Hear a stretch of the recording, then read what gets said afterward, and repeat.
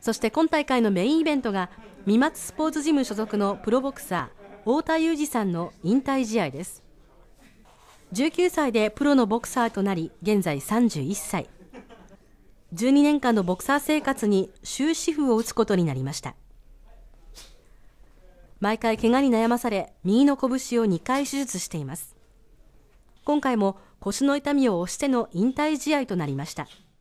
今日で泣いて笑っても最後なんでもう全部出し切って悔いのないように終わりたいなって思います。もうすべて出し切ります。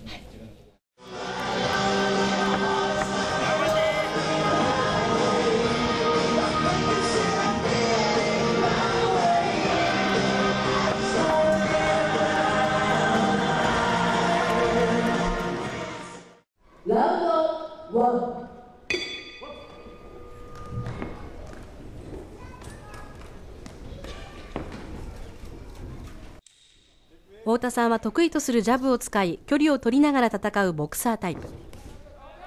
キレのあるパンチが持ち味です。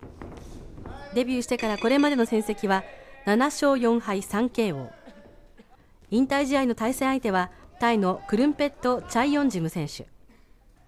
タフな選手で過去の戦績は7勝3敗 2KO です。これまでのボクサー人生のすべてをかけてリングに上がった太田選手。距離を取りながら相手の隙を狙います。内輪に持ち込もうとしますが相手も距離を取りながら戦うボクサーとあってなかなか激しい内輪に持ち込むことができません。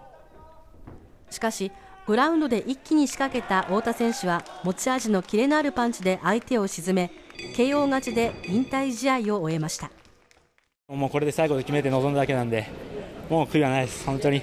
あのもうやるだけやって今は好きって気持ちなんでいい12年間でしたね。